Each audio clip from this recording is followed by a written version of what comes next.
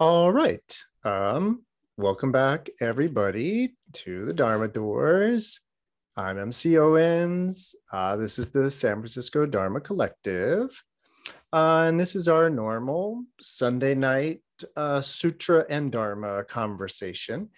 Um, uh, as you know, I've been kind of giving a theme to each Dharma Doors here, to each Sunday night.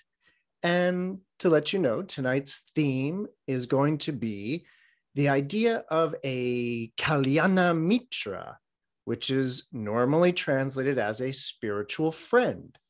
So, we're going to talk about spiritual friendship, as it is called. Um, that's the theme, uh, but what this theme comes to us from a sutra. We're going to be reading a little bit from a sutra that we've been reading from for a while now. Um, the particular, uh, actually, I wanted to start with this funny idea. So, the particular sutra we've been reading is a sutra that is called the the the Bodhisattva Manjushri's Pure Land Sutra, basically.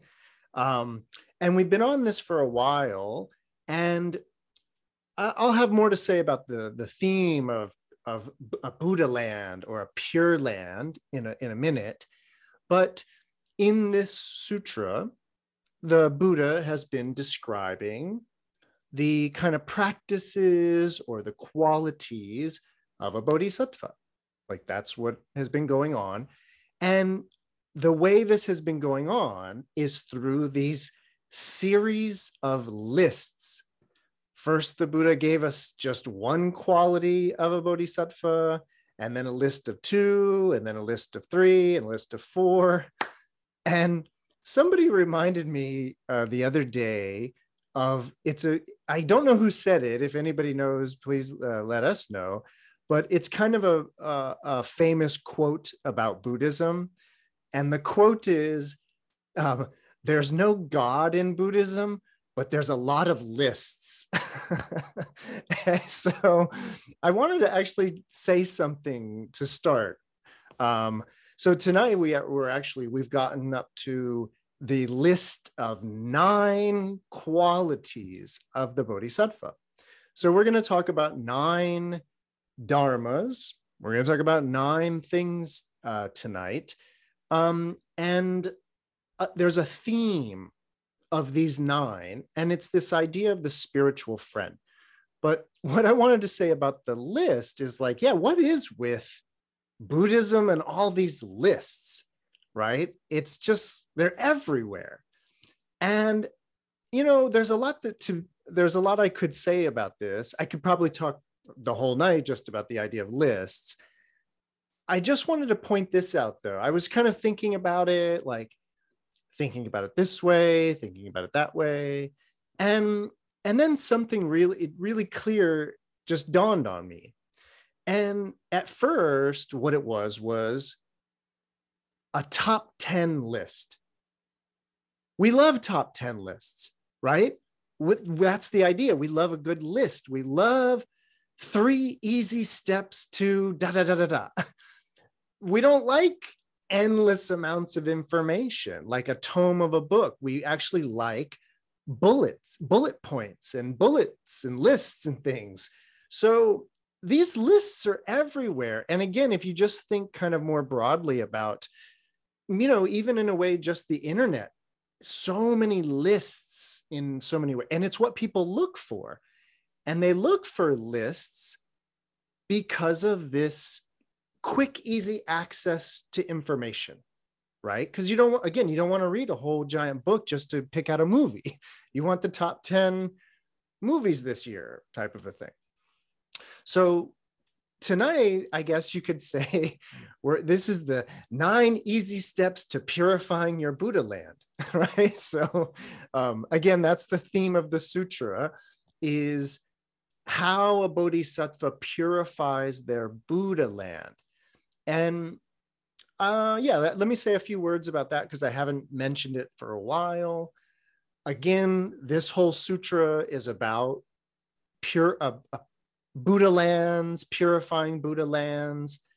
And let me just kind of mention how you might think about that, you could think about it very simply. And what I mean by that is if the the practice of Buddhism, if the Dharma is a kind of, oh, a psychological process of clearing out a lot of habitual gunk from the mind. right. So I just, I just put that in a very, you know, 21st century kind of a, you know, psychological way, clearing out the gunk or the, no, clearing out the habitual gunk of the mind. Right and, you know, again, that's a very modern way to, to speak. And what I'm getting at is, is that I think there's a very beautiful, poetic way that some Buddhists, some sutras, some Buddhist texts, they talk about that same thing of clearing out the habitual gunk of the mind, but they talk about it in terms of purifying one's Buddha land. And the underlying idea there is that each and every one of us, in that sense, is a Buddha, is, is actually residing in their own Buddha land right now. But our Buddha lands might need a little work, right? it's a fixer upper of, of, of a Buddha land in that way. And so the idea of getting to work uh, on that is purifying one's Buddha land. And so the very the lists that we've been hearing about have been all these lists of ways that bodhisattvas can purify their Buddha lands. Put it that way. Um, and so tonight we're going to find out to get these nine easy steps to do that. Um, there's a lot of overlap with this list with the other lists. And I'll use that as an opportunity to say you know these these lists are not mutually exclusive there's a lot of overlap. And the idea is is that we are approaching the same information different ways. Now tonight it's going to be nine ways to approach this information. And actually before we even get to the lists so yeah, because this is the theme tonight is this idea of spiritual friendship, Kalyana Mitras, and this doesn't actually occur until the kind of the end of the list.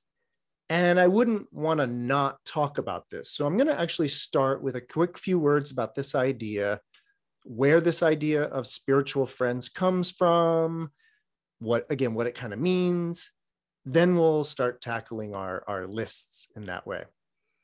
Um, so, as you know, for a while in the Dharma doors here, for a very long time actually, I've only been teaching and reading and, and explaining Mahayana Buddhist sutras. I, I work a lot with the Pali Canon. I, I have taught a lot from the Pali Canon and the early suttas, but I myself am way more drawn to these Mahayana sutras. And I'll tell you right away that this idea of the Kalyana Mitra, this having a spiritual friend or spiritual friends, it's a very kind of important part of Mahayana Buddhism. And you don't really hear about it so much in the in the earlier path, the so-called Hinayana, or what would be called the Theravada. And I'll give you a really simple reason why that is. If you read all of the Pali Suttas from that early Buddhist tradition, they are all given by the Buddha. And they are presenting themselves as records of the teachings that the Buddha gave, meaning these the early Sangha, they had the Buddha, they had the teacher. Um, and so there was a Sangha that was learning from the Buddha, from the teacher. The Mahayana Buddhist tradition is very much a post Buddha movement. Mahayana Buddhism is it develops, it emerges, it, its practices, everything about it presumes that the Buddha is gone, and we're we're we're left without that teacher in a way. And so the Mahayana Buddhist tradition, it really encourages and and um, well, it encourages and supports this idea of having spiritual friends, these kalyana mitra. And you know, mitra, that word mitra is it's related to the word metta, and you probably know the word metta, loving kindness. But metta is actually closer to friend friendliness. Yes, it means kindness, loving kindness, but the word metta is about friendliness. Mitra is a friend, and Mitreya is the friendly one, the name of the future coming Buddha, actually. So, just to give you a little language there. So, the root of Maitreya, Mitreya, is this Mitra, a friend. But here's the thing about it these well, let me actually, I'll share with you one of the main sources. If you were going to go looking into Kalyana Mitra and you wanted to know what these were all about, there's one sutra that is like the place to go for what is a Kalyana Mitra. And that sutra is called, it's called the Ganda Vyuha Sutra. Um, this uh, beautiful array of manifestations sutra. It also, by the way, is part of this ginormous sutra that I'm often talking about. So, this is the Avatamsaka or the, the Buddhavatamsaka Saka Sutra, this flower ornament sutra. So, this is probably the basically the biggest sutra there is, very Mahayana. And as you can see, it's in three volumes. And the entire third volume is kind of a sutra all by itself. And by itself, it would be called the Gandavyuha Sutra. And it's really an interesting sutra. It is it reads like something out of Tolkien.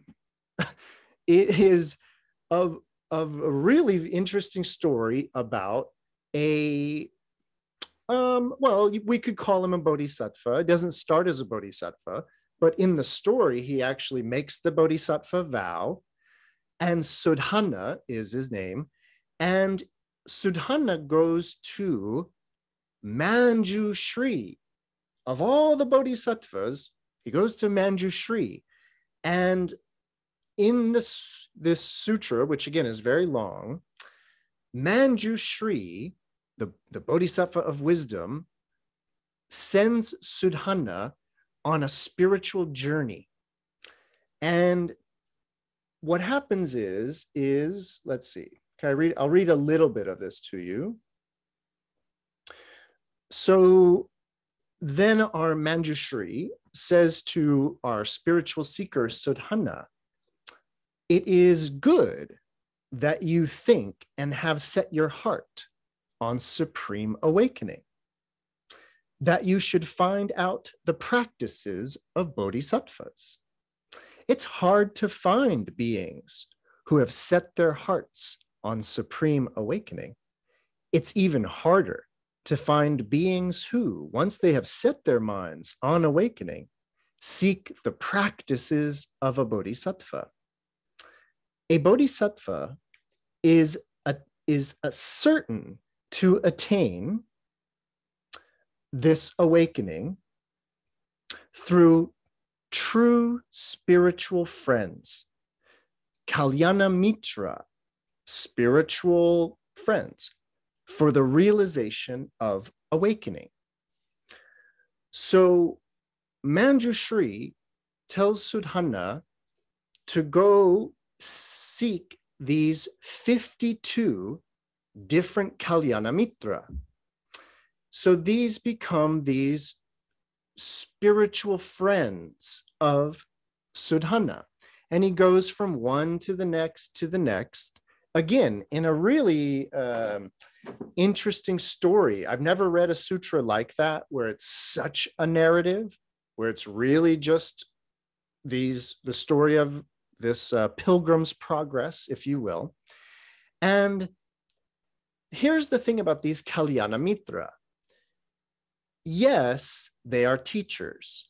Each one of these 52 Kalyana Mitra teaches Sudhana something, but the important thing that we find out, or it's not what we find out, but you one does find it out when you read that sutra.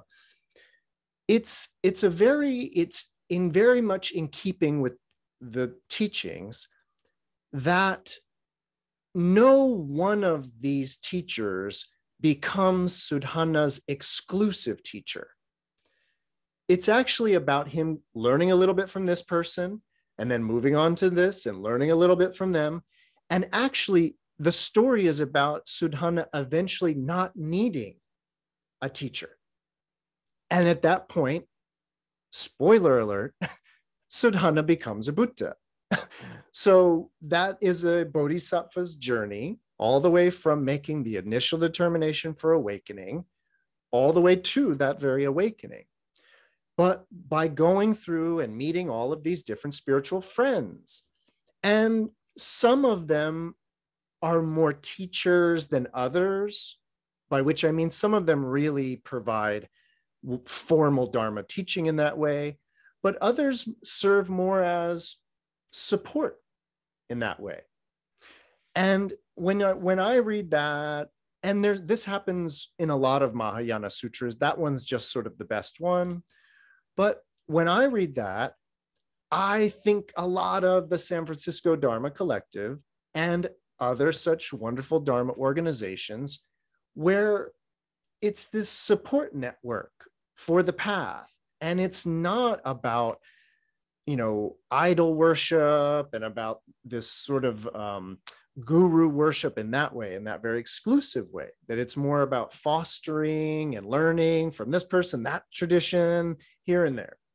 So I just want you to know that that's when this comes up in the sutra in a little bit, that's what they're talking about. These types of um, well again spiritual friends and i want to really you know emphasize this language of friend because i would very much prefer to be your friend in that way than a teacher in that sense in any kind of hierarchical formal way um, so because as i often say on sunday nights i get i learn and get just as much out of this as you may so spiritual friendship. okay, so again, that was just a kind of a quick little intro to the idea of this. It's going to come back in a little bit, but I wanted to make sure we talked about it. Um, let's get into our list because I do have a kind of little Dharma talk prepared based on the contents of this. So, um, the Buddha says to Shariputra, the monk who's receiving all these teachings, bodhisattvas who achieve nine things will be certain to purify their Buddha land. What nine? One, a disciplined body. Two, disciplined speech. And three, disciplined thoughts. I'm going to just work with those right now there's three more, of course, and then there's three more, but they are given sort of in sets of three. So a disciplined body, disciplined speech, and a disciplined mind. So a couple of different ideas going on there. Um, the first, let's just talk about body, speech, and mind. So these, of course, are the three sources of karma as they would say. And of course, you I want you to remember that within the world of Buddhism, karma just means activity, movement, action. It's not about, you know, this karmic reward and reciprocity thing. It's actually just about movement of the body or movement of the voice or thinking or which is to say movement of the mind. So those are the three sources of activity, karma. And in general, we sort of have two modes of working with body, speech, and mind a disciplined mode or an out of control, mindless mode. That's sort of what we're dealing with here. And so that brings us to the second part of this, which is the idea of discipline. so as, as you know too, or as you may know, there's a few different um, English, or there's one English translation of this sutra, and I'm doing my own translation from the Chinese. The only difference in language here is the Tibetan, they talk about a restrained body, restrained speech, and restrained mind. Whereas the Chinese, it's more the formal language of discipline. This language of discipline, by the way, you may know the word, it's vinaya or vinaya. That's literally the word for a, to discipline or train. And so, of course, the Buddhist project or aspect of Buddhism is the disciplining or controlling. Uh, you also sometimes see the language of taming, but taming the body, taming speech, and then taming the mind.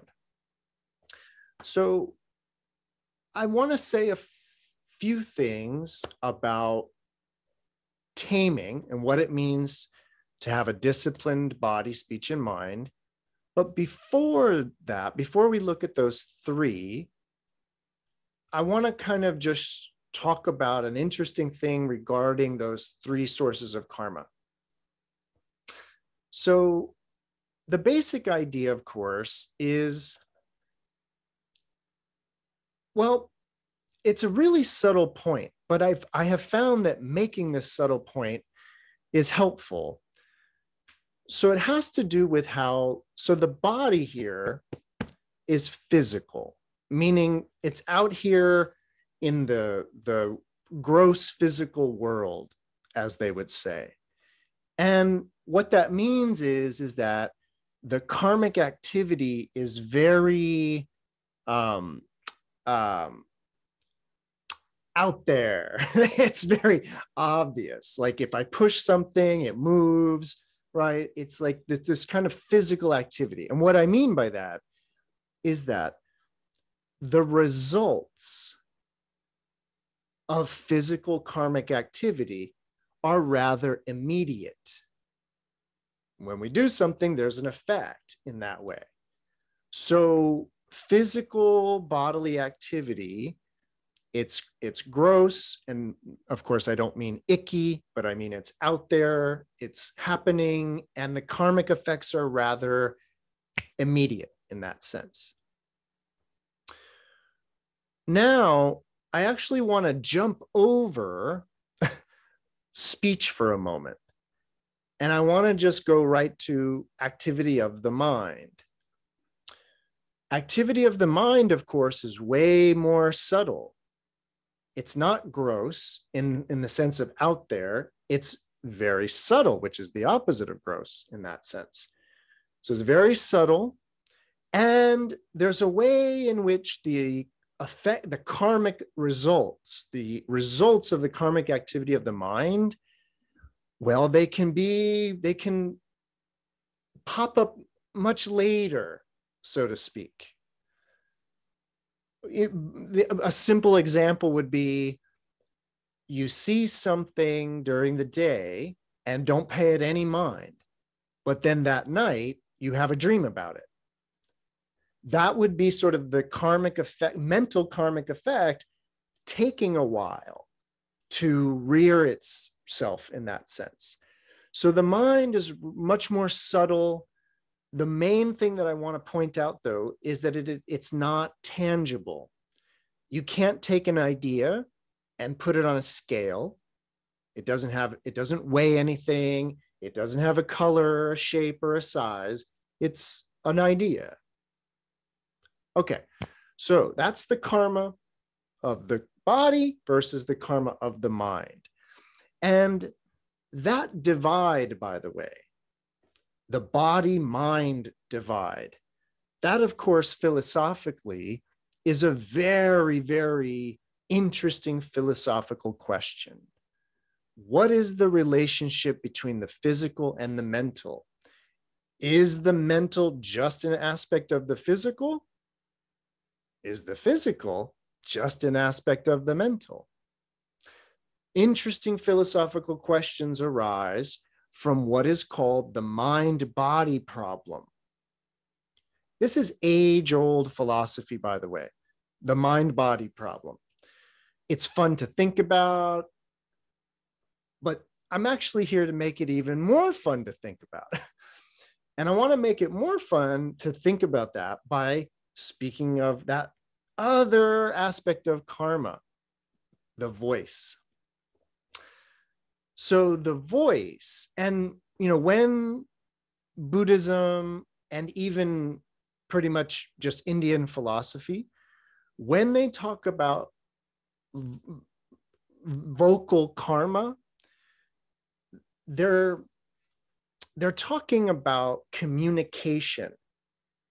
And what's interesting is, is that what I'm about to say regarding speech, regarding the voice, it goes for writing as well.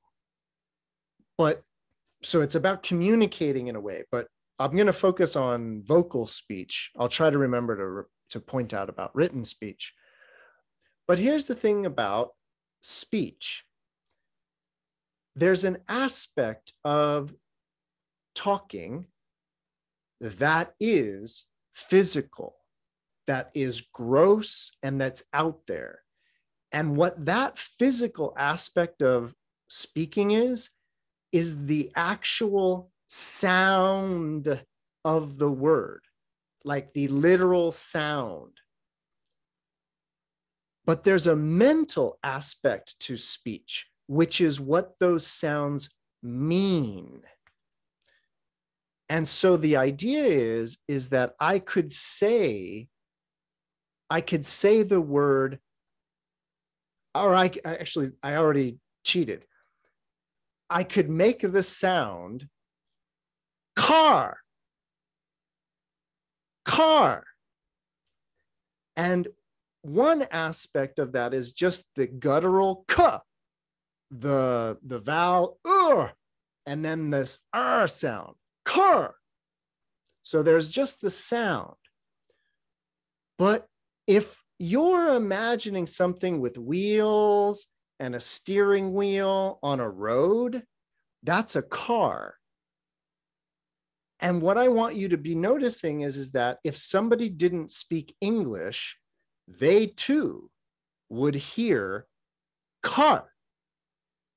But only an English speaker would then think of a car. So speech is weird because it's part physical and part mental. It's actually, from a certain Buddhist point of view, speech is the bridge between the physical and the mental. By which I mean this thing that it has a physical component, but it has a mental component. It's, it's literally kind of in between the two worlds. So speech is a wild activity in that sense. So now, anybody have any questions or comments, answers, ideas about the subtlety of speech there? So now, oh, oh, I will uh, finish that. Writing. Writing is also physical in that it has the marks, you know, the the actual physical marks on a page, but it is a mind that deciphers those symbols into meaning and into words and language.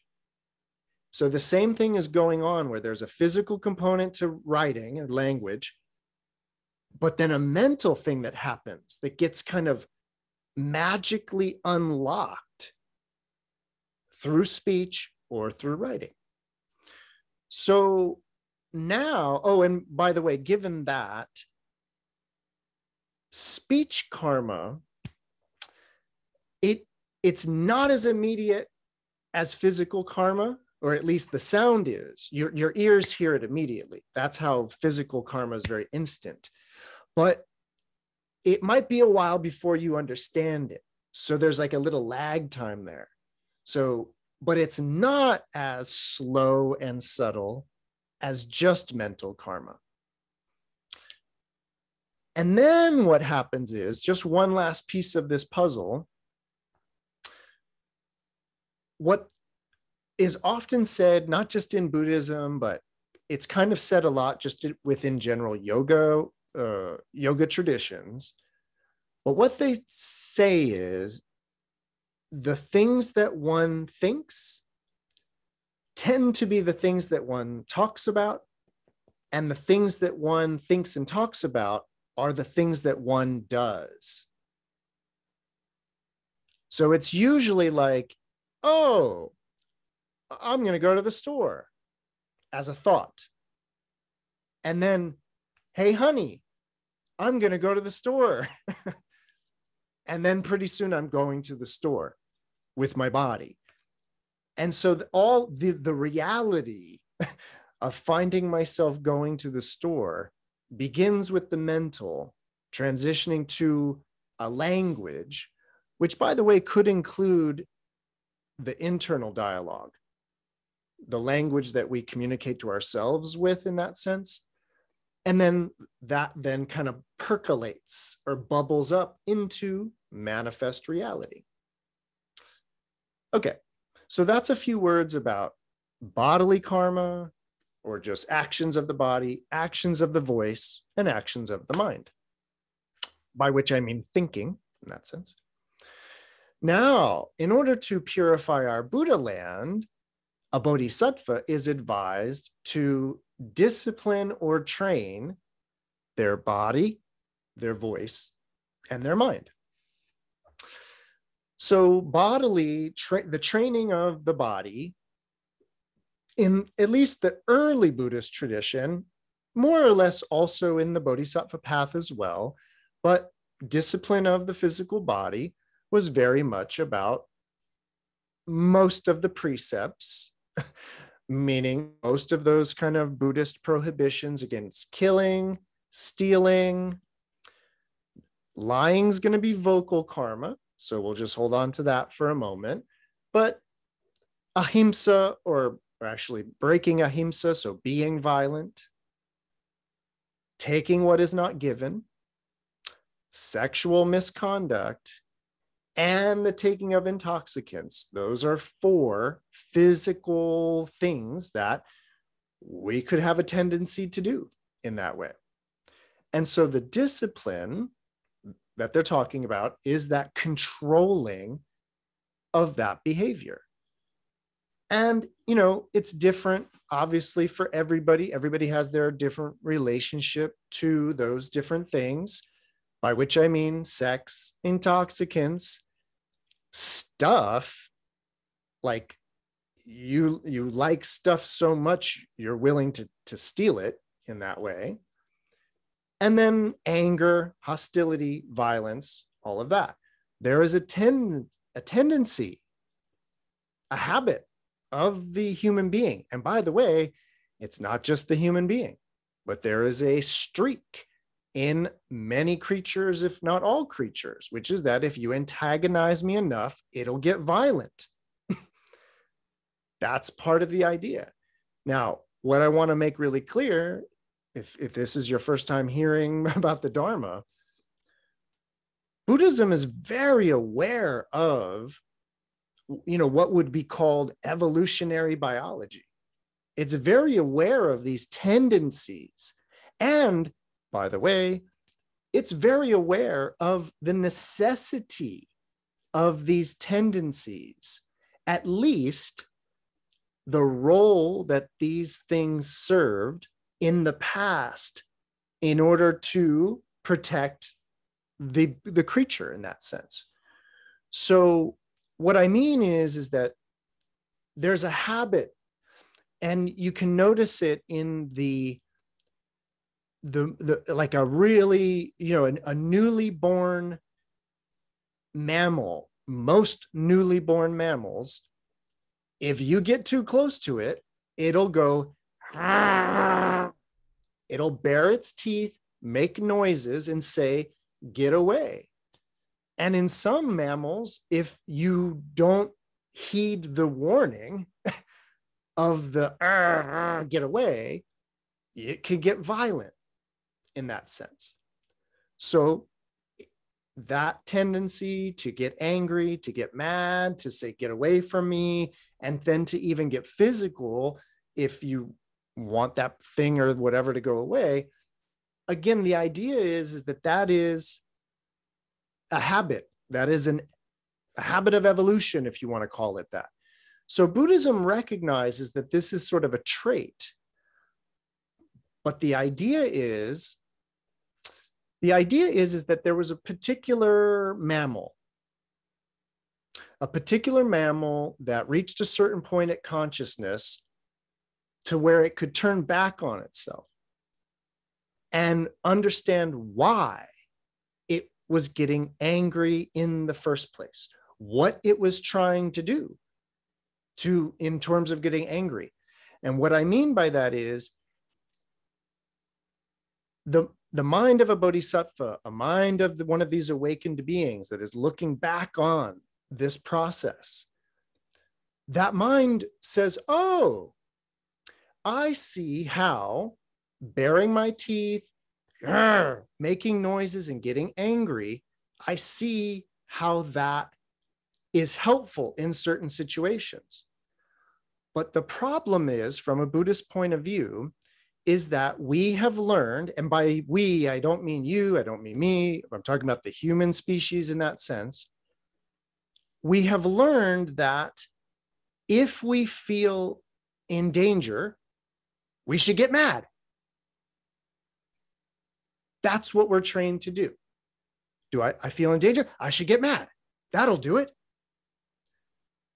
the problem is is that we live in this crazy modern world where we don't actually even know what we're afraid of we don't even we know we're afraid we know that and so we get mad we have a tendency to get mad because we're programmed to do that but the idea is is that the program is just running on autopilot and it's out of control causing us all to suffer because we're not actually in danger that way we're in, maybe not even in danger at all, actually. But my point is, is that these are habits to get angry and then maybe to get violent. And so the Buddhist, the Bodhisattva, makes a vow, decides, you know what, I'm going to control that. That's that would be really noble of me to use Buddhist terminology. That's why they call it the, the Noble Eightfold Path and this idea of becoming an Arya or a noble one. It's the idea that to be disciplined in the body and to like have control over that is noble. And to be mindless and reactionary and freaking out is not noble in that sense. So that's an idea of disciplining the body. Another example that I want to give you taking what's not given, right? So, otherwise known as stealing. So, that one is not about anger, that one's about desire. That's about the wanting. Again, wanting so much that you're willing to just take it in that sense, right? So, here's the thing another thing, another way to look at it maybe, probably 10, 20, 30,000 years ago, it was probably a really good idea in terms of self survival. It was probably a good idea to hoard things. You know, you come across some nuts, you come across some this, and you create a little a little bundle of it, and you have a habit of hoarding. You have a habit of gathering and hoarding food. That probably gets you through the winter. That's probably a good idea to do that. So once again, it would seem that we are programmed and conditioned to hoard in order to survive. So now, fast forward 10, 20, 30,000 years, and our bodies, or yeah, the biology in that sense, our bodies don't know about grocery stores and fast food and government subsidies that are paying farmers to not grow food because it's like uh, we're so far past the need to hoard food in that way. But what's going on, perhaps from this bodhisattva point of view, is that the creature feels safe with hoarding. And so we find ourselves with a garage stuffed full of all kinds of stuff that we don't need, but it makes us feel safer. Why would that make us feel safer to have a bunch of stuff? Could it just be a holdover of biology in that way? And that at this point, all of that stuff is making us suffer and not actually making us feel safer? But because the hoarding tendency is supposed to make me feel safer, I'll go get more stuff because it's not working. Right. And so I must not have enough stuff. And you could see how that mentality would just keep spinning out of control to where you're like, well, I, I'm still not safe. I'm still not happy. Better get more and so the idea is is that the controlling of that desire to need and want to the point where you would steal in that way. Sexuality of course is another one in terms of absolutely the nobility of controlling that behavior and the un ill nobility of not being able to control that behavior. So that's the idea. But again from an evolutionary point of view, it makes sense to have an uncontrollable libido. Just putting it, just saying. But the idea here is, is that unless you want to have a zillion, zillion children, then it's probably just causing suffering in that way. So I hope you get my point about disciplining the body. Why would one want to discipline the body? To control these habits in that way. Disciplining of the speech, that was number two, the number two practice of the bodhisattva here. I kind of already mentioned it. The primary one is about false speech in that way. But the Buddha actually, or Buddhism, it has a long list of bad speech harsh speech, idle chit chat is considered kind of bad speech in that way. Um, so there's a whole variety of ways that we can abuse our voice. And the idea here is, of course, is that a lot like the bodily things I was talking about, the idea that they might be habits that we are just very, very deeply conditioned to perform, and actually not performing them is the move. Similarly, there's a way in which a lot of speech is, um, I guess nowadays we say of people that they have no filter, right? That idea that just whatever is thought of is said. And that might be harsh and I might regret saying it, but it just came out. Oh, sorry, I said that. Well, the idea is, is that a bodhisattva is working on not having random things come out of their mouth, but actually being mindful of speech in that way and asking, is that could this be construed as harsh? Is this pointless? What I'm about to say? Another one, divisive speech. It's a big one in Buddhism speech that causes divides. So you ask yourself, is this divisive? Like intentionally divisive or not?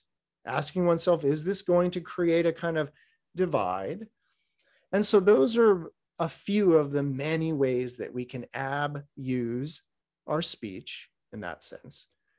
And then, of course, taking vows or being mindful of the way that we use our speech. I often like to point out regarding speech,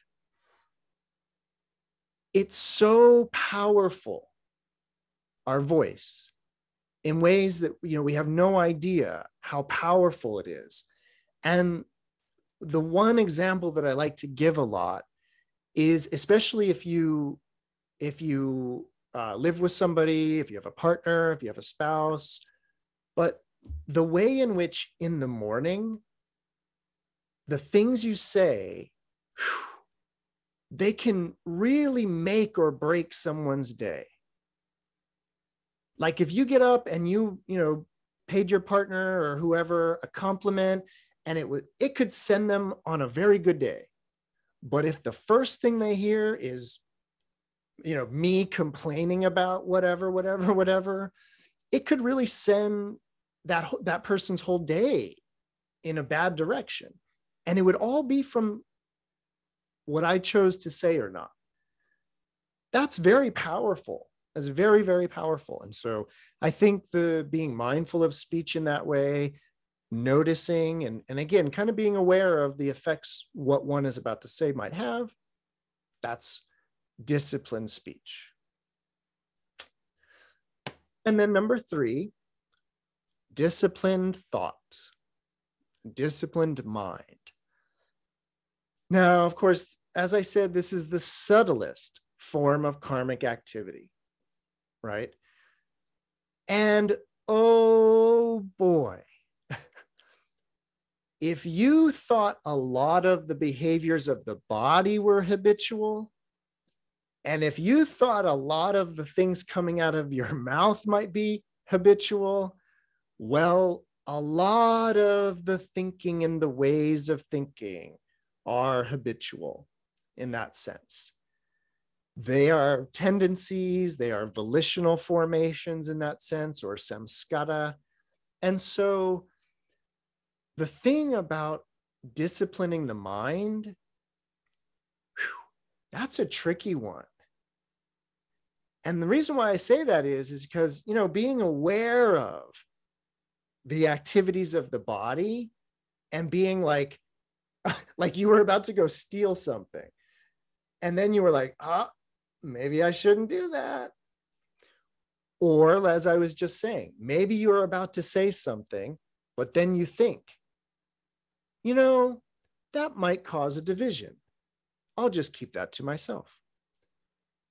In both of those cases, whether it's the body or speech, I mentioned there being this mind that's noticing what one is about to do, noticing what one is about to say. How do you get on top of thinking and notice what one is about to think? That's why the mind training, the, the mental discipline is, is tricky. It's tricky because of needing or requiring that very disposition on thinking itself. How, oh, how could one acquire such a disposition on thinking itself? I wonder.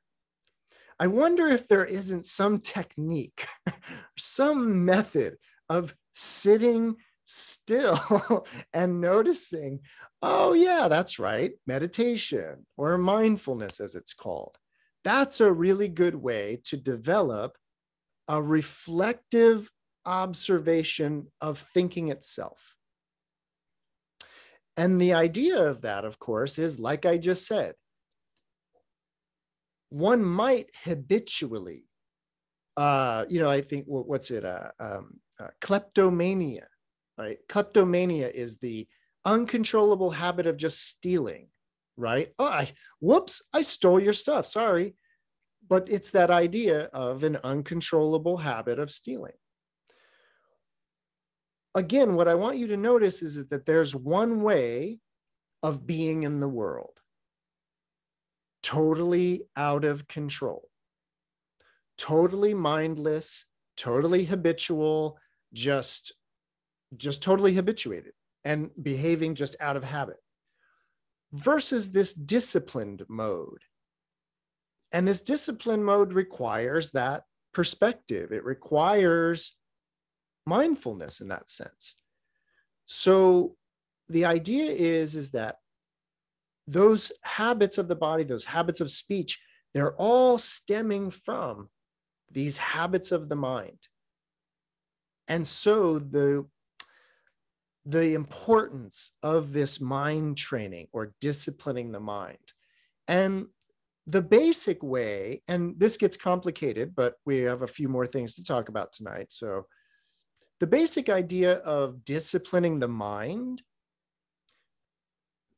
it's mainly not entirely but it's mainly about the ability to focus by which i mean the ability to stay with something. It doesn't matter what it is. The breath is the usual one, but it could be a lot of things. But we're talking about distractibility. So let's just say that there was, you know, there's even in some uh, Zen, some Zen Buddhist traditions, they like to use just a single point on the wall in front of you you zero in on a single spot and with laser like focus, you just try to attend to that spot. But what will invariably happen, of course, is that something will distract us. Either something will physically distract us in the physical world, and it'll be like, ooh, what was that? Or, ooh, what was that? or it might be something voice somebody might say something to us or we might hear something in that regard that will then disturb us from our focus on that point or it could be the very mind itself that goes wandering about thinking about whatever whatever whatever and then you remember oh I was trying to stay focused on that point at the wall. It's almost as if we, we don't have control over our own mind. A disciplined mind would be able to train itself on a single point for as long as it would like to observe that point undisturbed. That level of mind training, of focus, is difficult to acquire and it takes time in that sense. But my point is with all three of these, it's about habits and just going with the flow of those habits versus actually mindfully getting on top of those habits. And mindfully getting on top of those habits is what makes those habits dissipate. That's the teaching. So. Everybody feeling okay with those? Excellent. So those were the first three ways for a bodhisattva to purify their Buddha land, right? Disciplining the body, disciplining the speech, and disciplining the mind. The next three uh, achievements, if you will, of a bodhisattva that will purify their Buddha land is the cessation of all craving. Number five, the cessation of all anger. And number six, the cessation of all confusion. So, once again, we have a set of three, and these three should sound familiar. These are the three afflictions, the three kleshas, the three poisons, the three root causes greed, anger, and confusion, otherwise known as delusion. So these are those three afflictions of the mind. The first of them, again, is craving. The word is tanha, and tanha literally means thirst. This wanting, this craving, this desiring. That is one of the afflictions. And it is to be ceased in that sense. Um, the second is usually aversion, but anger is also a way to translate it. And then this third is, again, ignorance, confusion, or delusion. Those three are the, the I call them the malware of the mind. The idea of these three is that they are not endogenous to the mind. They are foreign entities that have afflicted us in that way. And so the Buddhist process, in many ways, what disciplining the body, speech, and mind leads to is the cessation of these three afflictions. So I want to talk a little bit about I want to present a scenario to describe these three poisons, as they're sometimes called, and just to kind of give you a, I don't know, just a way that I think about these three. So, the scenario that I want to present is it's the idea that you or somebody, it doesn't need to be you, whatever, but just somebody you can imagine somebody has a dream. And what happens in that dream is they they find themselves in this really cool cafe. It's like an old converted church. It you know it's got this beautiful stained glass windows and it's just it's really cool. And you're having a dream or somebody's having a dream in which they find themselves in this really cool place and the, it's a coffee shop or a cafe and they're drinking this coffee and it's really good. And it's like this is eh, they're having a great time. And then they notice in the window a sign that says for lease the cafe, the church, is for lease. Now, remember, we're in a dream. Remember that. But this person forgets, doesn't know they're in a dream. And they see the for lease sign and they start thinking, I could lease this. And they start plotting. Yeah and they get they start creating this really really great idea where they're going to they were planning on selling their house anyways but they were like oh i could sell my house and use that as the equity and i could lease this cafe. That would be so cool. And so they start plotting this big plan to acquire this cafe and then in the process uh, so they're sitting there and this is all happening you know in their mind where they're like oh this is going to be great. And then a realtor comes in the cafe and they're they're showing the cafe to a potential buyer.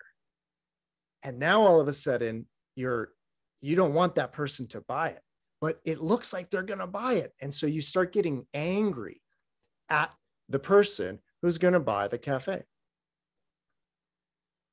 so all of this is going on. And by the way, the whole time that this is happening, there's like this old guy in the corner drinking coffee. And he keeps telling you, come on, just sit down, just enjoy it. but you've got these big plans to acquire the building, and then you'll be happy when it's my building because I got these big ideas to turn it into a music venue slash cafe. And I got all these ideas. So let's just say this dream goes on for a while. And it's this whole big ordeal with the realtor and this other person and ah, da da da da, right? The whole time that old guy's like, come on, just have a seat. And then you wake up And what I want you to think about now is this person upon waking. I want you to notice how they got very, very worked up. They got very, very excited. They got very, very angry. And both, both of those things, getting very excited about the idea of buying the building and getting very angry at the idea of not being able to acquire the building, I want you to notice how both of those moved the person out of the mindset of being in this really cool environment and enjoying themselves. They took themselves out of enjoyment and started hatching all of these ideas about how they could be happier. And it was that very idea that made them not do that. And again, all the while, there was that old guy that was telling you it's a dream. Just sit down and enjoy it. Well, that's the basic Buddhist teaching regarding greed and anger. Those two emotions, the emotion of give me more and the emotion of get that away from me, it's those two emotions that afflict. That's why they call them the afflictions that afflict the mind and cause this suffering and ultimately are what push are what are pushing us out of having a good time. And this is what like the kind of the way that i like to teach buddhism is that the buddha wants us to be having a much better time that we're than we're having like really like that's the idea. And i say that in you know in reaction to any idea that buddhism is a very dour lifeless like tradition. It's no it's actually a very buoyant joyful tradition. And again the idea is, is that we're not having as good a time as we could be having in that sense. Now those two the desire and the aversion or the anger in that sense. Both of those were coming from the same place. And that same place was confusion or delusion, that third affliction. And you know what the third affliction was? Believing the cafe was real believing that you he the person believed that they could acquire the cafe. And from believing that that was possible that's where all of those other ideas came from. The idea of how much happier i could be if i owned this non-existent building right? The anger at that person because they're going to own the non-existent building so the idea is, is that the confusion of the delusion is primarily about uh, fancy language. It's about the imputing of existence, not existence, but existence, things, things that exist. That's called an ex- existent, something that is existent.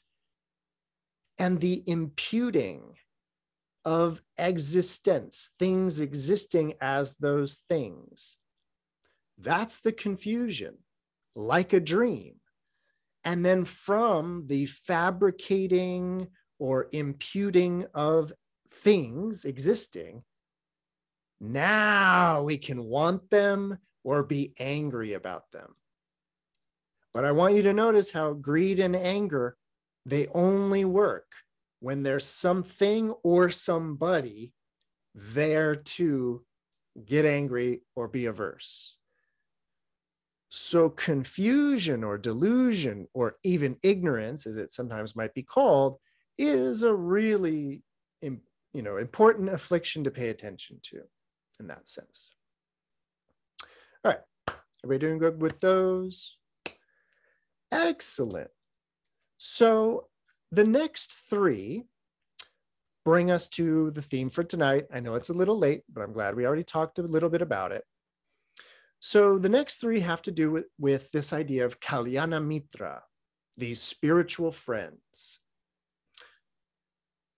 The seventh uh, accomplishment or practice of the Bodhisattva here is not practicing deception. Specifically, not being deceptive. And it's, it's the exact same in both the Tibetan and the Chinese. Number eight is being a true or solid friend. And number nine is to not despise Kalyana Mitra, not despise spiritual friends or spiritual teachers in that way. Those are the last three of these qualities of a bodhisattva that will purify their Buddha land. So, because the first three are the three sources of karma and the next three are the three afflictions, it seems appropriate to put these last three together. The seventh one, which is this idea of not practicing deception, you know, usually that would fall under speech, not being, not lying or deceptive speech in that way.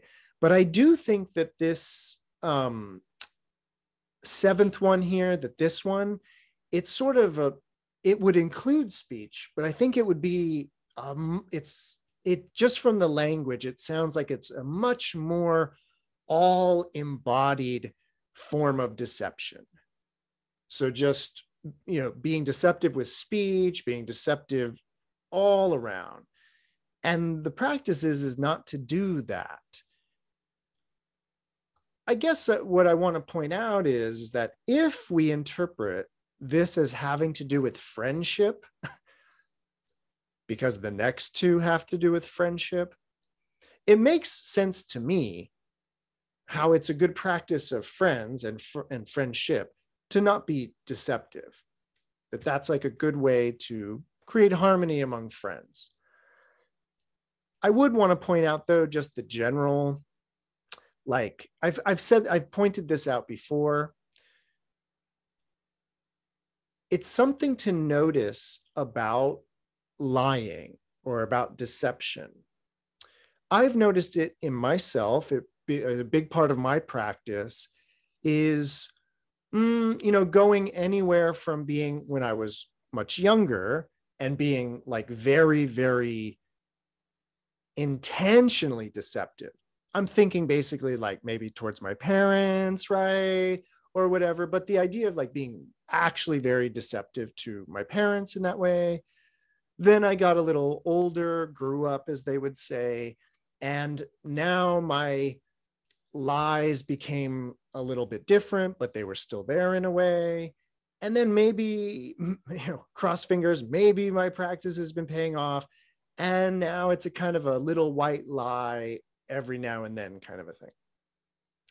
The one thing that I've noticed reflecting upon my behavior as a kid, reflecting upon my behavior as a young adult, and reflecting on my behavior now, I've noticed how lying, there's always a sense of self there that's being, or we feel, I feel as if I'm preserving or almost protecting a certain idea of myself it's what uh, you know even if you go back to the idea of like where were you last night?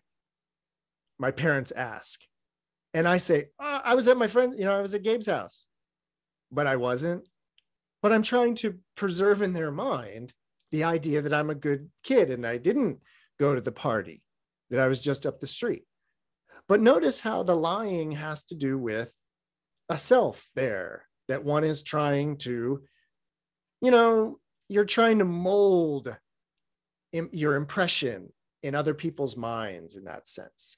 And I just want you to notice from that Buddhist point of view how it has a lot to do with notions of self in that way. And then from an even more problematic point of view, if you really look at lying, ah, from a Buddhist point of view, it's really bad because not only is it about a deluded sense of self, you're not even willing to own up to your deluded sense of self. So you're fabricating this other deluded sense of self, right? Because again, from a Buddhist point of view, even our most honest sense of ourself is a fabricated delusion.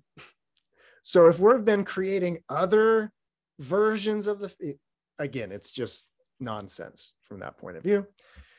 And the basic idea, of course, for the Bodhisattva here is to not practice doing that. By the way, I, I do want to point out that in the Chinese, at least, I again, I don't have the original Tibetan, so I don't know the exact language. But in the Chinese, it is specifically this idea of practicing deception. Because there is a way that if you do it, you can get better and better and better and better at it. So the idea is not to even practice it in that way. All right. And then the last two, which are specifically about friendship. The first one is about oneself and the idea of oneself being, and this is where the language is interesting. I guess the mo, at least from the Chinese, the most literal translation would be that a bodhisattva, in order to purify their Buddha land, should be a stable friend. But if you know the language, if you know the Chinese, the the characters, it, it would be like um, it would be like a uh, some sort of um, support of some sort. And if I were to go up to it and lean against it, and it just fell right over, and it couldn't hold me up, that wouldn't be stable. So you want to be a bodhisattva wants to be a friend that people can rely on in that sense. Like lean lean against right? Like that like that great song the lean on me song. Like that idea a bodhisattva is somebody that one can lean on in that way. And so that's a practice of a bodhisattva to be a stable supportive friend excellent excellent and then the last of this is our Kalyana Mitra, our, our explicitly mentioned Kalyana Mitra. And I think the language was also the same in both the Chinese. Ah, the Tibetan was not being disrespectful to Kalyana Mitra. So that brings us full circle here to this idea of our spiritual friend. Again, what I want to kind of mention is that in the early form of Buddhism, if you read those sutras, the idea was is that the Buddha was there and everybody could rely on the Buddha. Everybody could go for refuge to the Buddha. But then the Buddha passes away and this thing called Buddhism starts right? And this thing called Buddhism is kind of on its own. They don't have the Buddha. So for a while, you have the idea of the Sangha, the spiritual community. You have the idea of the Dharma, the teachings, and you had sort of the memory of the Buddha. And those are the three jewels. Those are the that's the triple gem, the Buddha, the Dharma, and the Sangha. And that's sort of what held Buddhism together for a while. But again, these sutras, the Mahayana sutras, come to us from a little bit later, and they're very much from a time when, again, there was no Buddha, but even the texts, even the Dharma, even the Sangha w- was beginning to change. And so you have the emergence of this, like, well, again, it, it it's tricky because in the modern world, in the modern world, Buddhism, certain types of Buddhism especially, have become very guru centric. Like that idea of this one teacher for life. This is my guru for life. Um, that way of being religious in that sense, you know, that is a very Indian way of doing yoga. It's a very Indian way of, of practicing, which is you have one teacher, one guru for your whole life. And then even when that guru passes away, you have a picture of that guru and they're still your guru in that way. And I guess what I want to mention, yeah, I have just a few minutes. I want to mention this. These, um, oh, yeah, that reminds me. There was something about the Gandavyuha Sutra I wanted to mention. So the sutra that I just read from, the, this Manjushri's Pure Land Sutra, it comes from a large collection of sutras called the Maharatnakuta. And the Maharatnakuta is very related to this ginormous Avatamsaka Sutra. They're all part of the same kind of family. And there's a lot of things I really like about that type of Buddhism. You, I guess you could call it early Mahayana Buddhism. It doesn't exist in the world, by the way, anymore. We just have the texts, we have the sutras, and we have historical records of these Buddhist communities. But even if you just read the sutras from the, these Buddhist communities, you immediately get the sense of this Kalyana Mitra, this idea of it's not it's this group of peers this this group of, of people learning from each other in that way. And the one really important thing that i want to point out that i forgot to earlier so in this Gandavyuha Sutra that I mentioned, that's the go-to place to learn about Kalyana Mitras, our hero, truly it's a kind of a hero's journey, Sudhana, the, the hero of this, he goes to all these 52 teachers. And what I want you to know that's very special and very important is that many, many, many of those 52 teachers are women in the sutra. And that is something that is kind of unique to this particular type of Buddhism, this early Mahayana Buddhism. I would throw, if you've ever, I did, I taught a course, or not a course, but I did a Dharma doors on the lion's roar of Queen Srimala a while ago. And that was the story about a female, a woman, a, a queen who is basically a Buddha. That sutra is from this family the Maharatnakuta that I'm reading from tonight is from that family. And in them, you find these very, very, you know, strong, wise female teachers. And mm, Buddhism, you know, some schools of Buddhism have a better relationship with sex and gender than others. Let's put it that way. Some have a terrible relationship to sex and gender some of them have a very enlightened approach to sex and gender. And I put these in that family.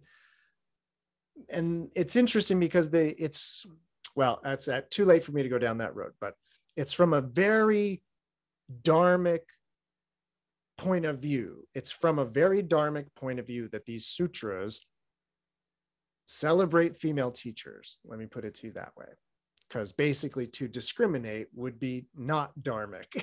and so they, they really uh, practice the Dharma that they preach in that way. So, all right, Kalyana Mitra, um, any questions, comments, answers, ideas, epiphanies, realizations?